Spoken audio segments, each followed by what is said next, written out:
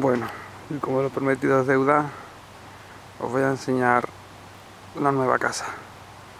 En realidad lo que hemos hecho es irnos a la calle de al lado. O sea, lo que pasa es que la casa está mil veces mejor. Esta calle se llama Braznali o algo así. Ahí está nuestro trineo robado de la casa anterior, que ya es nuestro, como otras tantas cosas que nos hemos quedado. Eso es una puta bolsa de papel con hojas de este pedazo de árbol de aquí que es el mejor árbol para tener en otoño. Los vecinos, estudiantes, no sé qué mierda. Y a ver, vamos a entrar dentro. Tiene su mini micro porchecito. Putas sandalias de carpi siempre en medio. El cubo del reciclaje. Un perchero. Esta es la casa. Por ahí se baja el sótano. El salón, que la verdad que está muy bien. La cocina, mucho más amplia, un puto perro peludo. La cocina está genial en comparación con la otra, que además se caía cachos, con su horno aquí doble listo para las pizzas. La olla súper limpia de Carti, como siempre. El jardín, que os enseñaré. Aquí hay para guardar un montón de basura. No te muevas mucho, perro.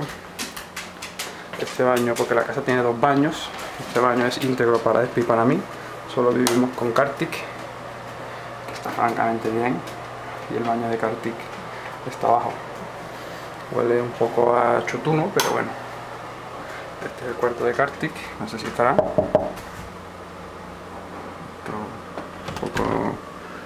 voy a invadir, pero para que veáis el cambio cualitativo que tiene en su casa. Os voy a enseñar a nuestra habitación, que está subiendo las escaleras. El ordenador, la tele, el Rogers, que lo hemos contratado pero no lo vemos. Sube las escaleras.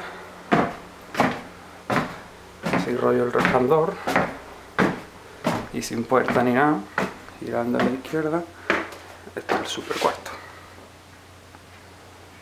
La verdad que está demasiado, lo que pasa es que claro, no tiene puerta. Estaba pensando poner aquí, no sé, algo para darle un poco el sonido y los olores de la cocina. Mi sombrero de sombrero loco, mi escritorio, unos cuantos armarios, la cama gigantesca, fotos varias. Estaba hoy mucho mejor metido y hago tocada de huevos. una lucecilla y ahora os voy a enseñar lo mejor del jardín. O sea, lo mejor de la casa, que es el jardín. A ver, vamos a la escalera. El típico alféizar para sentarte así a la luz de la luna y escribir unos poemas.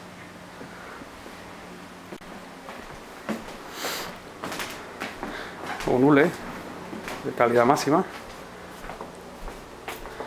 Y esto es el jardín como podéis ver. Hemos mejorado un poco, la verdad.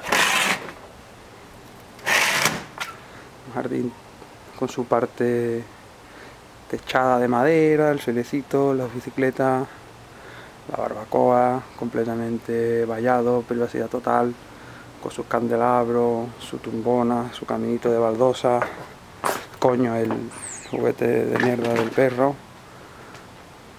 un pino enorme, una pelota gigante roja bastante grande.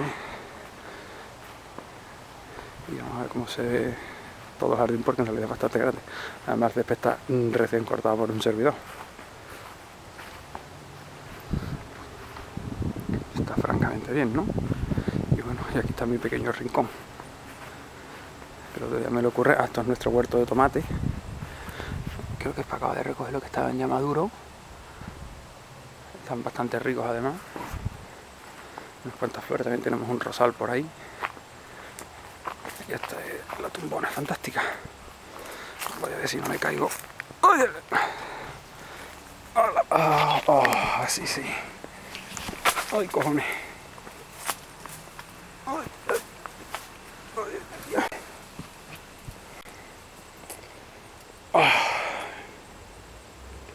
Bueno y ahora sí me despido.